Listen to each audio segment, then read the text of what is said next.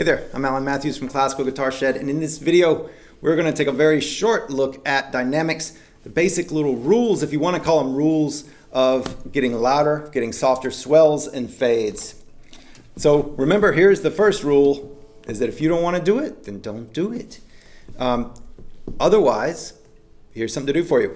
When you see a melody line, and this is not for all the music, it's not for music like arpeggio music or anything like that, but when you see a melody line, a line of music like this one at the top from Minuet in G, then we can see that the notes are going down, then they go up, then they go down and same, and then they go up, and then they go down, and then they go up, and then they go down, and then they stay the same, right? So there's, we have a relative pitch. There are notes, some notes are or lower or higher in pitch than others. Well, whenever we see notes going up, so when we note, when we have notes, we have some notes going up, some notes going down. Whenever we see passages, these scale passages going up, we get softer. So that ends up sounding like this. We arrive to the top softer. So as the last few notes, we get softer. Same as the second one.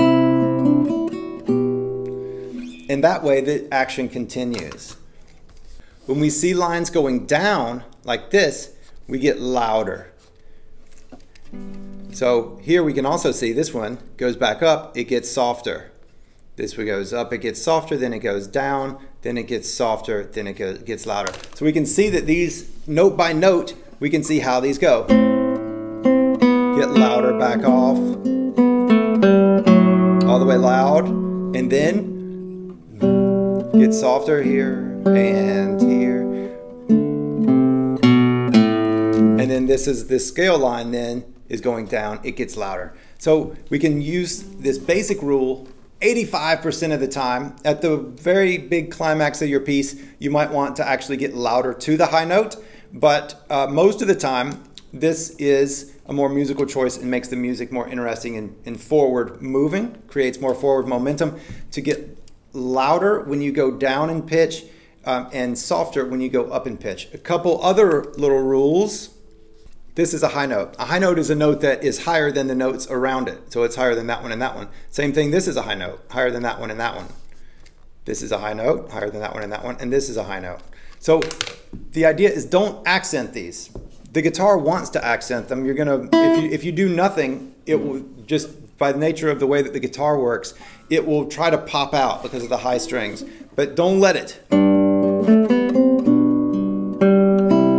So not, don't accent that high note. It creates an arrival which stops the action. Instead, we want to continue the action by not accenting it and continuing forward. So that's the, the rule number three. Rule number one, when notes go up, get quieter. Two, when notes go down, get louder. Number three, don't accent the high notes, which is kind of included in those as well.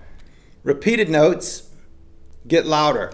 Whenever you see repeated notes, start them soft and get louder. And again, this will work 90% of the time.